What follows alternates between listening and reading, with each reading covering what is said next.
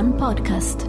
Questa è una cosa che dico sempre, se il mondo fosse fatto di Linus Ah, no, sarebbe un posto migliore Certo perché sì. l'umanità sommariamente è divisa in due cestoni, i buoni e i cattivi. E lui è nel cestone dei Certo. buoni, ma dei buoni. Però anche dei proprio- super precisi, Ma- di ma quelli... quello, quello potrebbe farlo essere ces- nel cestone dei cattivi, Eh sì. perché il cattivo, come dire, scrive i nomi delle sue vittime con precisione.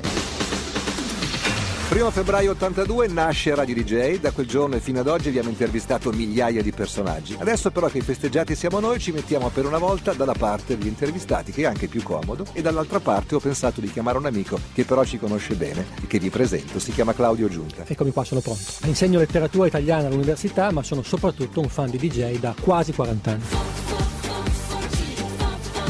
E quindi le domande che ci farai sono domande da professore o da ascoltatore? Da professore e da ascoltatore, cioè Perfetto. vi ascolto e vi studio. Io sono Claudio Giunta e questo è Forti Forti, 40 anni di radio DJ in 40 minuti. Bene, sono i 40 anni di DJ e oggi tocca a Nicola Savino. Buongiorno. Buongiorno, buongiorno Claudio. Ehm, tu avevi 15 anni quando tutto è cominciato. Sì, avevo sì, in realtà 14 perché poi io sono di novembre, quindi, Ok. quindi e, sì, e ero ascoltavi, ti sei Sì. accorto quando è successa questa cosa della Sì. nascita di una nuova radio? completamente, sì, io ascoltavo Radio DJ quando ancora era eh, tutta musica praticamente, ho fatto in tempo a sentire la prima voce, insomma, che era quella di Ronnie Hanson. Hello there. Good evening, guys and dolls, my fellow rockadelics, wherever you might be. Ah, it's not the BBC. Ronnie Hansen here once again, as I say, doing the same thing that I did last night and the night before, and I shall be doing it tomorrow night as well. Tra Ronnie Hanson e Gerry Scotti. Va bene, allora non so se per scherzo o sul serio, comunque ce lo troviamo adesso in tredicesima posizione, è stato bocciato in finale. Beh, De Gustibus non est disputando, ma oh, Maghi parli, parla come Magni. Queste Anzi, erano le prime voci 12 che si sentivano a Radio DJ. Enzo parlava in inglese o in italiano? Hanson in tutto in inglese, sembrava una radio, eh, sembrava una radio proveniente da Marte, era una cosa chiaramente a un'altra velocità, un altro passo rispetto alle altre. Tu Era- quindicenne ti sei detto, ok, un giorno qui? Io sì, guarda, ti devo dire la verità, è la prima volta che lo dico. mm, eh, mia sorella, mia sorella più grande, Anna Maria, che, ha- che ha 5 anni in più di me, lei ascoltava molto perché è sempre stata molto attenta, come dire, alle tendenze, al nuovo. E allora mi sono messo anch'io ad ascoltare. Io ascoltavo un'altra emittente.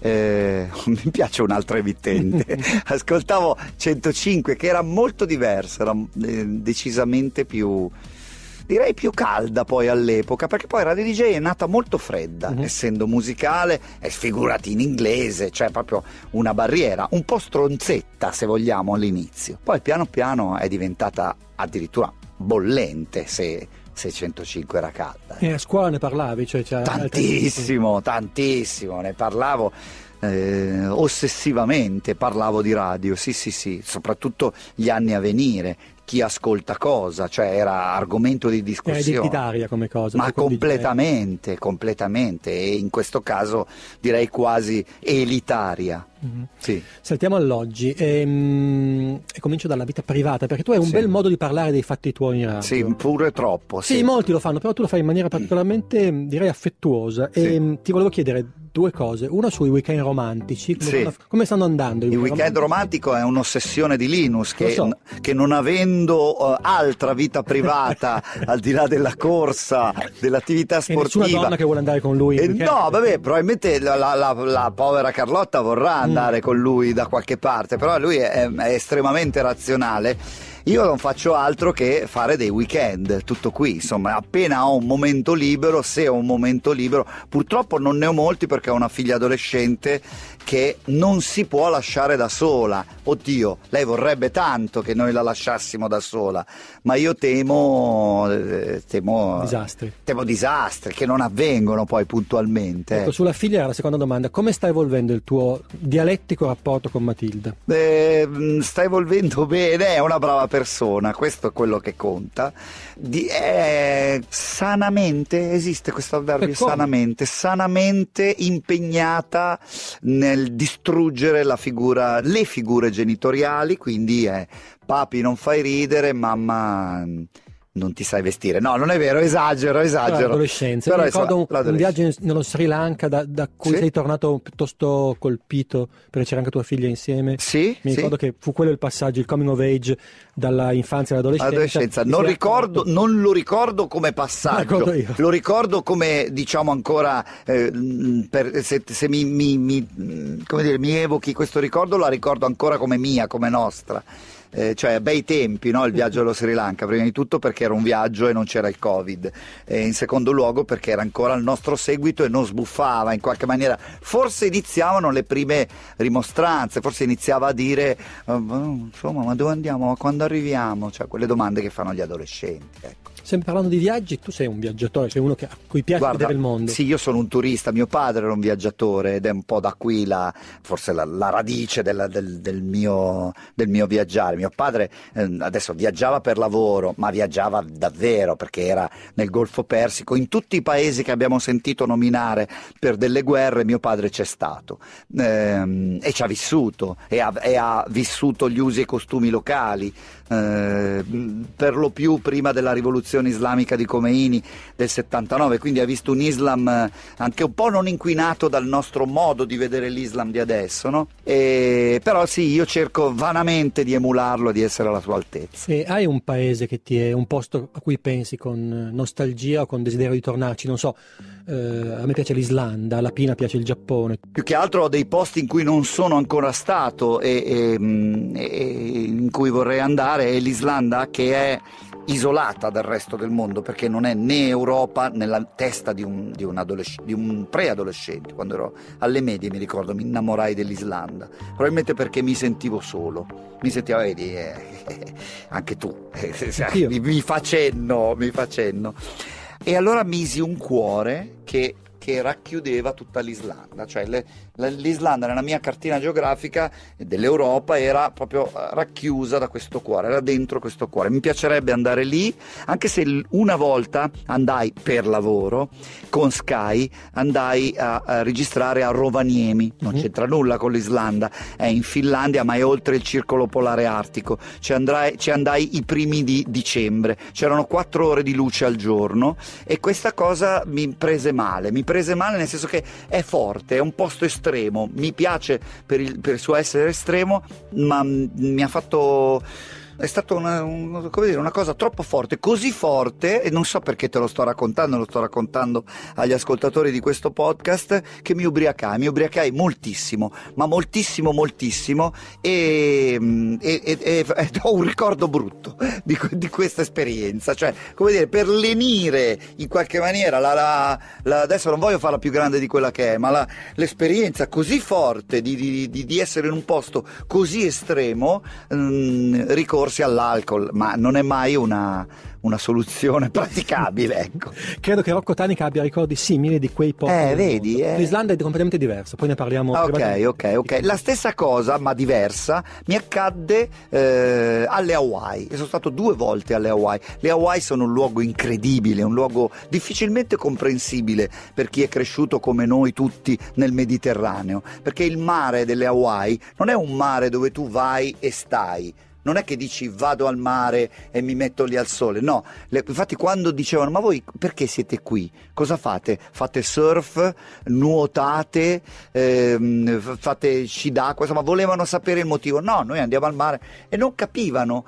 Ecco, le Hawaii, alle Hawaii ricordo non dormii per tre settimane, non tanto per il fuso orario, quanto perché è un luogo anche lì così carico di energia e così remoto. L'idea che fossi a sei ore d'aereo dalla prima terraferma non mi faceva dormire. Tu, ma tu pensa. Ti capisco.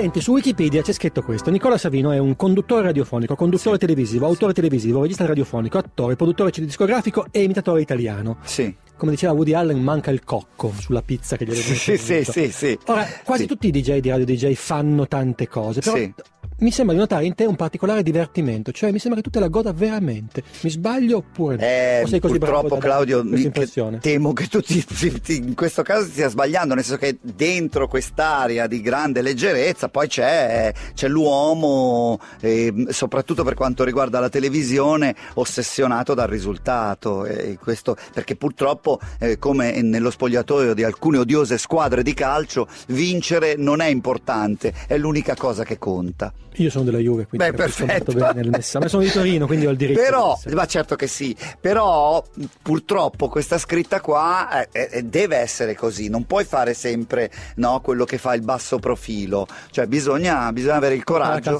Eh certo, certo. Infatti mi ha fatto molto ridere quando Batantuono qualche giorno fa ti ha detto hai preso in mano anche la televisione e tu ti sei un po' imbarazzato, sei rimasto un po' colpito Sì, questa certo, frase. certo. Ma allora perché la fai? Cioè si può anche non fare. Mi sembra che Albertino e Linus abbiano fatto molto bene a starsene un po' lontano. Sì, Però sì. sembri molto attratto da questa calamita. Sì, certo, Ehm, no, io voglio dominare il mondo, questo mi pare evidente, insomma. da- E da- è pericoloso appunto, non ci si consuma?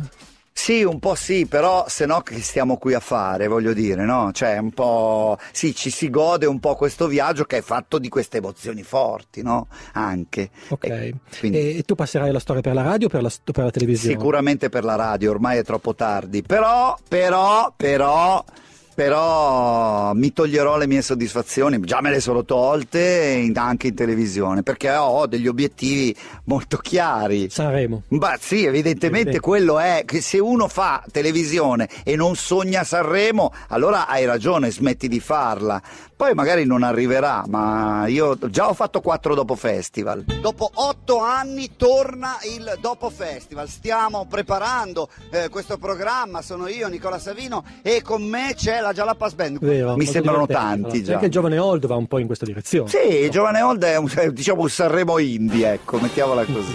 Buonasera, ben arrivati alla quinta puntata del Giovane Old. Come funziona? Ti chiamano eh, e vai, chiami tu, c'è un agente che si No, mi chiamano cose? incredibilmente, mi chiamano e vado. Incredibilmente mi chiamano e vado, sì. E in- non me ne capacito. Praticamente funziona che contrattate un prezzo del Ma... No, c'è una, io, un la, mia gente, la mia gente, allora, visto che stiamo parlando della storia di Radio DJ, la mia agente, che si chiama Graziella, rispondeva al telefono, era la centralinista di Radio DJ nel 1987. Wow. Cioè, mh, capisci che due lotte di classe così non potevano non incontrarsi. Io il mio primo stipendio da eh, tecnico del, del suono, qui da fonico, era di 980.000 lire. E, e probabilmente anni 90? nell'89. nell'89. Quindi siete cresciuti insieme. in Insieme, insomma, poi ci siamo un po' persi di vista, poi ci siamo rivisti, però questo noi ce l'abbiamo sempre molto ben presente, siamo Mhm. dei working class hero.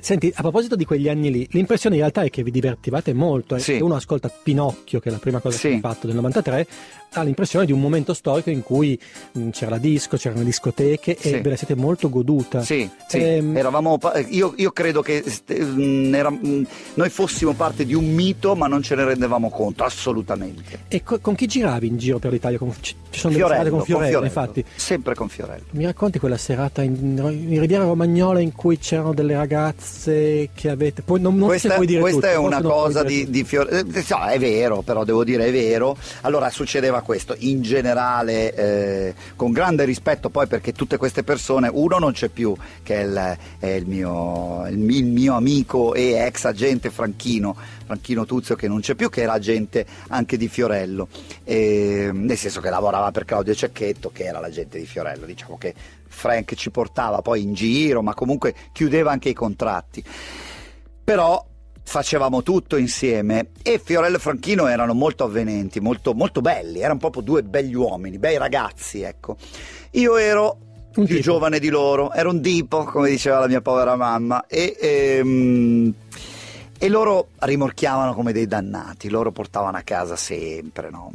E io solo facendo la scarpetta di quello che loro portavano a casa, insomma, devo dire non me la sono passata male. Ecco, e una sera loro erano con due specie di pantere del materasso, io invece rimediai una eh, ragazza un po' più giovane, d'altronde anch'io ero più giovane, ma meno disinibita delle loro, non, vole- non ne voleva sapere di avere, diciamo, un rapporto completo, di amarmi completamente.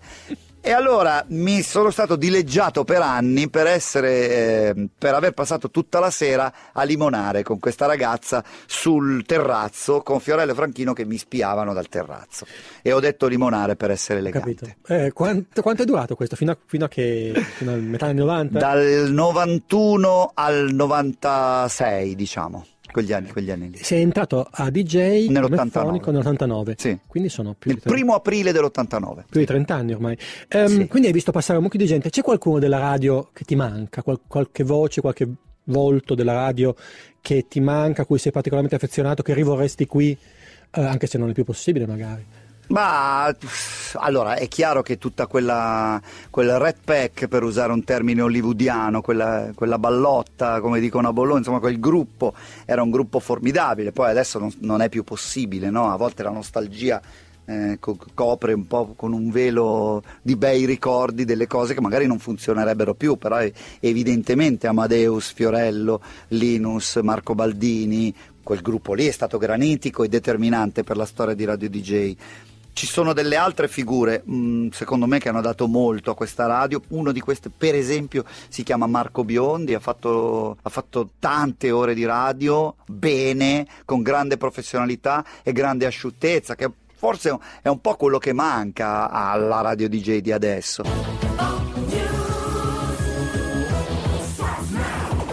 Pomeriggio, ciao ragazzi, sono Marco Biondi, questa è Radio DJ. Nel nostro pomeriggio c'è un nuovo appuntamento che parte oggi, parte questo lunedì come già annunciato nei giorni scorsi, parte Pop News. È una radio a suo modo, ti dirò, difficile da ascoltare perché è molto autoriferita, è una storia da quasi da conoscere, da capire, da metabolizzare, non è facilissimo. Ci sono pochissime donne, molto maschili come Sì, radio. beh, perché è un po' gli- il circolo del- della, la dico male, della birra media, del cameratismo, del- delle flatulenze, giù a ridere. Eh, purtroppo questo è il nostro ambiente, è fatto così e, e- e questo è- va al di là della gender equity, non so come dire. non- è, è- è andata così, ecco. È molto interessante, secondo me, per quanto mi riguarda, no? Io sono capitato qui che avevo 22 anni, sono cresciuto tra donne perché mio padre era sempre all'estero, avevo ehm, due sorelle femmine e la mamma che mi hanno cresciuto. E, e- e le prime figure maschili, al di là dei miei amici, che però ho frequentato poco, perché sono sempre stato un sottone, io come si dice, sono sempre stato fidanzato. Io non ho mai avuto periodi molto lunghi senza la fidanzata. E, e quindi quando le prime volte mi relazionavo con le figure maschili, magari più grandi di me, di questo posto di Radio DJ, che il lunedì mattina mi raccontavano di conquiste fatte nel weekend con facilità e, e, come dire, eh, snocciolate, enunciate come se fossero delle birre bevute, eh, pensavo che il rapporto tra uomo e donna fosse questo. E questo mi si sono voluti poi 5-6 anni di analisi a 35 anni, 40 anni, per capire che non era esattamente così che andava, no? che tanti scudetti, tanta figaggine. Mhm. eh, no? Questo è stato importante perché, e- e perché proprio cresci con, eh, con- con una realtà che, che è distorta. Una curiosità, a proposito di, di- di- di donne e uomini, hai mai convissuto con qualcuno che non fosse Manuela? No, Con- no, che non fosse Manuela, sì, beh, io, so- io sono stato Ah, sposato, hai ragione, scusa, con, una, un pezzo. con una donna e ho, e- e ho vissuto con lei per, eh, per sostanzialmente per eh, nove anni, otto anni, insomma dal 91 al 99 sono otto anni e sì, ed, ed è- e se sono qui adesso è stato anche per quell'esperienza lì naturalmente. E il tragitto è sempre stato mh, periferia di Milano-Milano? Non hai mai vissuto fuori? Periferia di esperienze? Milano, Milano, no, quelle volte che sono andato per lavoro fuori, sono andato magari a Roma a fare dei lavori, eh, mi sono trovato, allora sono state esperienze formative, però mh, un paio di volte mi sono messo a piangere, cioè Ah, ok, nel senso perché non che- sei abituato a stare fuori. No, no, ma guarda, credo che tutto quello che ho detto riguardo a rapporto con le donne, eh, rapporto con Milano, eh, sia ascrivibile al peccato di Mammone, cioè proprio è la mamma, que- quella cosa lì, no? Cioè quindi Milano, perché piango? Perché voglio la mamma, che è Milano, perché sto sempre con la fidanzata? Probabilmente perché sto, stavo con la mamma, adesso poi ho imparato un po' a scindere le due cose. Questo è un podcast sulla psicanalisi, non so Sì, se sì, ve adesso ne siete- alla radio comunque, no, Ah, perché se è interessante. siete- Eh, no, andrei avanti a parlare di Matti, di tua figlia adesso, che Ma volò, guarda, non quello che vuoi. no.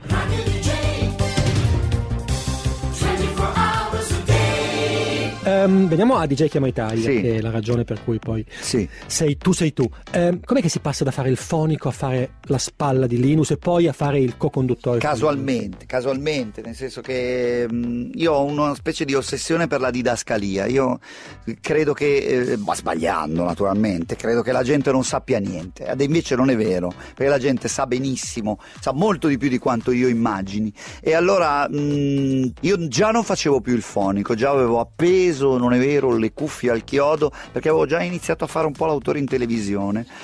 E ho avuto una breve parentesi in cui non sono stato a Radio DJ. Io ho- ho- nella diaspora del 1994 ho seguito Claudio Cecchetto a Radio Capital perché io ho sempre avuto in testa la televisione e mi sembrava che Claudio fosse una specie di ponte verso la televisione. In effetti poi è un po' stato così più per Amadeus che per Claudio, ma nel senso che è andata così, anche lì non, non- non c'è stato dolo. Eh, Amadeus mi ha coinvolto a fare il suo autore al Festival Bar nel 1996. Poi mi sono accorto che non- lì le cose non andavano e veramente mi mancava la mamma, anche lì mi mancava la DJ. Sono tornato indietro, ma non sono tornato indietro a fare il fonico perché non avrebbe avuto senso. E questa è stata una buona idea di Linus. Dice: no, fare il fonico secondo me è, è veramente sono tre passi indietro. Piuttosto, visto che hai qual- una qualche abilità creativa, eh, cerca di, di impostare un, un qualcosa di creativo per la fascia oraria tra le 13 e le quatt- e le 14.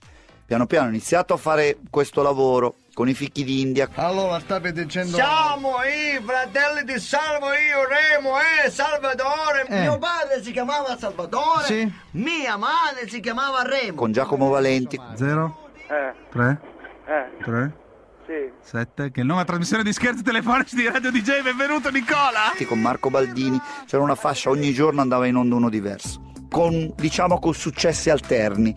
Eh, dopo- dopodiché seguivo anche Linus.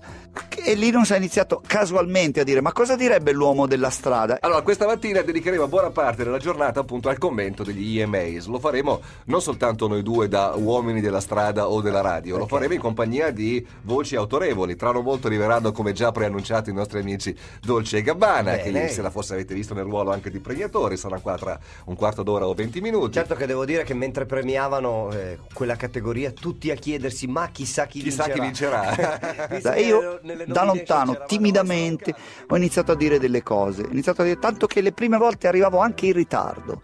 Ma il ritardo vuol dire che arrivavo alle 10.40 al posto di arrivare alle 10, perché magari avevo fatto bagordi la sera prima e poi perché avevo mezz'ora di strada da San Donato a qua. Mi ricordo un giorno in cui Linus mi disse: Senti, allora tu o arrivi in orario o se no smettiamo qua. Ecco, quella cosa lì io devo dire forse mi ha salvato un po' la vita perché ero piuttosto birichino negli anni 90, invece quella cosa lì mi ha un po' regolarizzato. E quindi davvero, ma lui non lo sa, non lo sa neanche, sai che ognuno di noi dice o fa delle cose eh, con, con il, con il terzo, con un altro, che, che non ricordano e sicuramente non Che lo cambiano da vita all'altra senza che Mi è guarda, veramente mi ricordo un giorno, ma dice: Guarda, se vuoi venire, vuoi continuare a venire, devi venire qua almeno alle nove e mezza, devi essere puntuale. E io mi ricordo di colpo per due anni eh, di fila smisi di bere alcolici. Ne parlo spesso di questa faccenda degli alcolici. Probabilmente ha un peso, dalle mie parole, infinitamente superiore Mm. a quello che poi ha in realtà, perché non, non mi definirei un alcolista. Cioè, Scusa, due curiosità. L'autore cosa vuol dire? Che ti siedi e scrivi dei testi per eh, Amadeus? Sì, la- per- l'autore del Festival Bar, non mi voglio buttare giù o sminuire, come capirete, non, non scrive esattamente l'Ulisse l'Ulisse di Joyce. Cioè Sì, però è scrive- difficile anche quello. Però è molto difficile perché devi mettere da parte il tuo ego e scrivere poche cose molto brillanti e molto efficaci per chi sta guardando. Devi portare per mano il telespettatore in poco tempo. Mi ha insegnato un, io ero il ragazzo di bottega di Eddie Berni, che era un autore ed era ed è un autore televisivo molto brillante, ehm, che, che mi ha proprio insegnato questo lavoro qua, che è un lavoro artigianale, fatto di uso di parole che non possono essere troppo difficili, ma nemmeno troppo semplici. Non bisogna ehm, prendere il telespettatore per fesso. E, e lì lavoravi in un team. Cosa- Io e Eddie, il team era io e Eddie. Ah, eravate in due soltanto. sì, sì, sì. Ehm, con, con Linus sempre tutto bene. Io mi ricordo due liti. Io parlo del Festival Bar, Sì, eh. certo. Parlo Poi, altre- no, poi ho visto che hai fatto mille altre cose Sì. in cui immagino che i gruppi di lavoro fossero Sì, anche più, più, ampi. più ampi. Gu- Guarda, anche lì un altro col- piccolo colpo di genio inspiegabile, devo dire. Giorgio Gori, l'attuale sindaco Certo. di, di Bergamo, fa molto sorridere adesso eh, ripensarci. Mi vide al Festival Bar e disse: Questo qua, questo ragazzo deve fare le Iene, deve fare la seconda edizione delle Iene.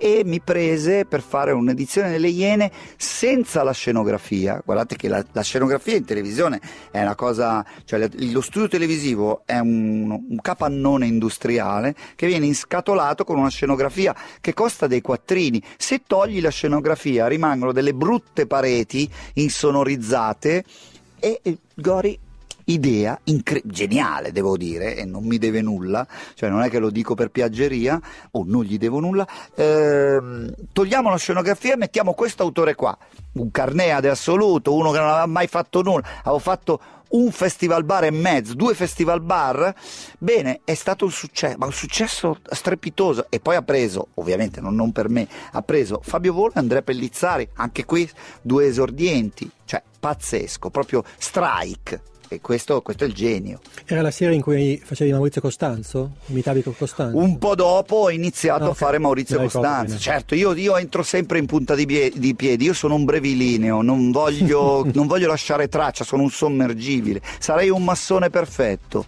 ma non sono iscritto alla massoneria. che mai, non puoi dirlo, Chissà naturalmente. mai! Se sei qui forse un triplice avuta, abbraccio a certo. tutti.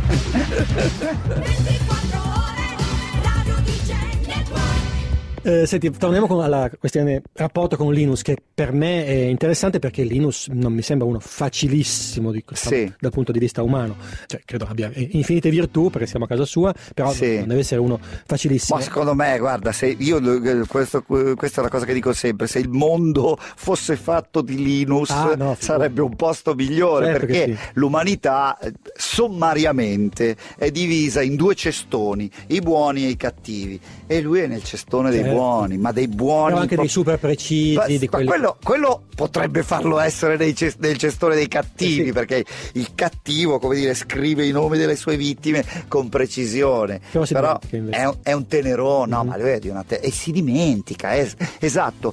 Porto molto più rancore io di lui, lui non porta rancore. Quindi la lite, la lite su Sarabanda, che mi ricordo ancora adesso, come un trauma. Ho capito, ma dei Gypsy Riddle di Rai Aureliano Vabbè, è- ma tu la sapevi, You to Me Are Everything the Real Thing? No, però, Allora, cazzo, vale, vale Gypsy King di Real di Però è più famosa di You to Me Are Everything. Cioè, no?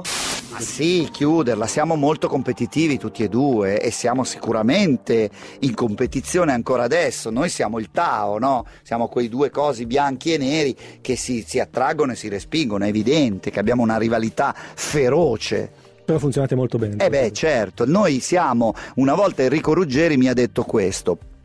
Vedi, i Rolling Stones ci sono Mick Jagger e Keith Richards. Uno più uno da cinque. Non fa due, fa cinque. È un- Adesso con le dovute proporzioni, però mi sento di dire che ha ragione. Ti stavo per chiedere se ti sei fatto degli amici in televisione, ehm, ma ti chiedo se ti sei fatto degli amici in televisione e in radio. Mi pare tu abbia un rapporto molto bello con DJ Angelo, per esempio. Tutta voglia di sentire il signor Kevin, quello che vende i vinili. Chissà se è Allora, riaperto. se hai questa voglia, chi sono io per negartela? Bravo, buongiorno Kevin. Sì, beh, collabora. Angelo è, insomma, è, è una persona a cui tengo molto. Forse, forse possiamo dire che se Linus è una specie di fratello maggiore, eh, io mi sento, magari ehm, sbagliando, il fratello maggiore di DJ Angelo, cioè me ne prendo cura anche perché ha una salute cagionevole, mi diciamo che mi preoccupo, però lo tutelo anche e devo dire, credo che il pubblico italiano, più che altro quello televisivo, ed è una grande ingiustizia, non l'abbia secondo me capito. Cioè lui è nel campionato dei giganti per me, è nel campionato di Nino Frassica, Mago Forest, Cacioppo per esempio ci metto Massimo Bagnato, insomma ce ne sono molti di, quel, di, di quella stirpe, la stirpe dei comici un po' paradossali che vanno tutelati proprio, sono... Sono molto d'accordo con te, Eh, sì. Ehm, altri amici del giro, qualcuno che ti è rimasto, che ti è caro veramente? A me, guarda, caro o non, io, io vado d'accordo con quelli che parlano il mio linguaggio, quindi mm, ho un rapporto eh, buono, per esempio, con Luca e Paolo, ho un rapporto buono con la Jalapas Band. Ho un rapporto buono con Diego Battantuono, con, con, eh, ma anche Tutti- con tutti Claudio. maschi però, Dio mio, dai. Sì, Mm, sì. Vabbè, no, vabbè, ok, ok. Sì, sì, Se è sì. così, è così. Mm, sì, hai ragione. Ok, passiamo a un altro. Allora. E il talento comico, dov'è che l'hai scoperto? Perché i, i personaggi che hai fatto con DJ Angelo e, e Roberto Ferrari sono bellissimi. Io sono affezionatissimo a Galeazzi. Pronto, chi è? Pronto, grandi. Un ritorno! Ciao. Giampiero Galeazzi! Eh, ciao, medici, grandissimi. Balubino, eccetera. Prenotare, no, no, ma bisogna passare anche un test psicoattitudinale. Ah, eh. prenotare al ristorante. Per venire qua non è che viene qua gente, l'ultimo perla che passa, capito? Sembra esagerato. Nas- come nascono quelle cose? Eh, guarda, in genere il soggetto lo porto io, cioè facciamo questo, la sceneggiatura la fa DJ Angelo, cioè le parole che dice quello, come dire, sono di DJ Angelo, ma l'idea di fare il personaggio come deve, deve piacere a me, deve calzarmi, deve... e quindi gliele propongo, e- però a volte propone anche lui, eh, spesso. Ehm, Quindi il pomeriggio lui si mette lì e scrive i testi per sì, purtroppo la mattina, la mattina stessa e scrive una quantità di, di- di testo della quale in genere va in onda il 60-50%. eh. C'è tanto di quello scarto, è una creatività assoluta, è, è veramente un genio. Io trovo che sia un genio proprio. E non è considerato tale perché siccome maneggia cose leggere, leggerissime, e poi non si vende, è uno che, che- che- che è sempre in sottrazione, un timidone, e quindi non, non è considerato, ma è una cosa. Infatti, quando prima ti ho nominato alcuni comici no, del- dell'Olimpo, tra di loro si riconoscono, si annusano, cioè Forest, mh, ho parlato con Forest DJ di Angelo. DJ Angelo e dice "Ma quello fa un, un lavoro sublime, sono delle poesie, le cose che... Cioè, insomma, e questo non è male, eh, no? Però sembra funzionare solo con te in televisione, cioè non credo possa avere uno spazio. Perché non lo amano, perché non lo amano quanto lo amo io, eh, davvero. Cioè, io mi pongo anche un po' il problema, dico, vabbè, ogni volta no, sembra che mi porto dietro eh, eh, questa specie di fardello, ma invece, ma invece se lo merita tutto, perché lo dico con grande rispetto verso le altre persone che hanno lavorato con me, ho fatto l'u- l'ultima cosa ehm, con lui, è stato il Giovane Old, un programma eh, di formazione, così l'ho chiamato perché parodiando il romanzo di formazione ehm, il Giovane Holden e il fatto che fossimo una formazione. Allora sentiamo il responso della macchina sul sogno nel cassetto di Brunore Sazzi. Ma modestamente il mio sogno nel cassetto è di fare un duetto con Mick Jagger, che invece mi ritrovo a Mobricci, che per carità è pure una brava persona, ma la prima volta che l'ho invitata a cena a casa mia mi ha rubato una ceneriera, quindi... In questa formazione c'erano sette comici molto giovani, sei di sette molto giovani, molto bravi, li rispetto, sono stati bravissimi. Loro stessi alla fine sono venuti da me e mi hanno detto ragazzi non c'è stata gara, ci ha asfaltato. Cioè, e questo eh, vuol dire tanto, no? Dove si va di qua? Cioè cosa vuoi fare dopo? Allora, la televisione me l'hai detto, sei uno dei pochi che non ha scritto un libro o sbaglio? No, non ho mai Bravo. scritto un libro, ho scritto un libro solo per beneficenza per bambini, che era una favola che raccontavo a mia figlia quando era piccola, in cui una bambina aveva delle lacrime che sapevano di fragola e i- gli altri bambini andavano lì a, Ok. ciucci- a farla piangere, a ciucciare le lacrime e la fattina gli ha detto guarda ti faccio diventare le lacrime di pupù. Ecco, questo è il mio, è il mio libro per bambini. Però la tentazione di raccontare la tua vita che viene a tutti i cinquantenni per adesso non c'è No, stata. no, no, mi accontento di qualche articolo un po' lungo sul foglio e, e poi ho un bello sfogatoio qui, cioè non, non so se io leggerei il mio libro. No, non volevo invitarti. No, no, no, per nulla, per nulla. Me- devo dire la verità, con anche molto pudore, me l'hanno chiesto Sì, immagino. tu- tipo tutti. Certo. Ecco, come mi hanno chiesto tutti, questa è una cosa che mm, stupidamente, ma anche, ma anche non stupidamente, non ho mai fatto valere. Tutte le radio, forse tranne una, quella di Roma, mi hanno chiesto di venire a- Mhm. di andare a lavorare con loro. Perché? Perché volevano togliere una gamba al tavolo. E allora io questo giochino che ho- ho- l'ho capito, devo dire non l'ho mai neanche fatto valere, no? Ah, guarda, mi vogliono di là, dammi l'aumento. No, non mi interessa, me li Sono vado molto contento, quindi i prossimi vent'anni possiamo contare. sì, credo di sì, c'è una guerra di nervi tra me e Linus su chi molla prima, e quindi io non, non credo... più giovane di te di alcuni anni, quindi Sì, esattamente. Io sto, sto aspettando, però ecco, guarda, c'è una sola cosa, una che mi, che mi pesa, non poter andare via un mese a febbraio eh, a farmi i fatti miei, ma ci arriveremo, magari con le macchinette, con questa roba qua. Ma sì, Ci arriveremo, Sì, ci arriveremo. lezione da- dall'isola d'Elba. Sì, adesso devo dire che il. Covid ci ha aiutato. Sì, ci ha ecco, aiutato. sì. L'ultima domanda è quella che ricorre spesso, è quella what if. No, ma non è Eh, possibile che sia l'ultima, e dobbiamo fare un'altra puntata. Eh, ma non abbiamo detto Il tempo niente. vola quando ci Eh, si diverte. eh. Che avresti fatto se non questo? Hai qualche talento particolare? Te la cavi con le mani o qualcos'altro? No, guarda, tu, allora, Sotto un no, ponte? se- guarda, no, sotto un ponte non credo, credo un, borg- un piccolo borghese infelice, perché come diciamo che, che è la realtà, pensa che mazzata, è la realtà da No, cui vengo. Eh no, è così, cioè probabilmente sarei stato un t- all'Eni, molto probabilmente, ma col grande rispetto che ho per l'Eni, ma eh, chi, è, chi mi ascolta in questo momento dell'Eni capirà, essendo di Metanopoli, il destino era quello lì, no? stiamo parlando dell'Italia degli anni Ottanta, era, un- era un'altra Italia, quindi sarei stato quello. E ahimè è passato il tempo a nostra disposizione. Toccherà rivederci. Ogni Quanto giorno. le devo? 100, Eh, mi- no, 100 no, sono 100 io che euro. pago qui. 100 euro. Sono io che pago qui. Facciamolo ogni giorno, ma non eh, da domani, diciamo. Va pensiamoci bene. per il futuro. Va bene, grazie, Nicola. Claudio, grazie Piacere. mille, grazie. Forti Forti, 40 anni di radio DJ in 40 minuti, è un podcast scritto da me, che sono Claudio Giunta, in redazione Alessandra Patitucci, ripresa e montaggio Franco Russo, supervisione tecnica Gabriele Rosi, responsabile della produzione Dennis Stucchi, una produzione One Podcast.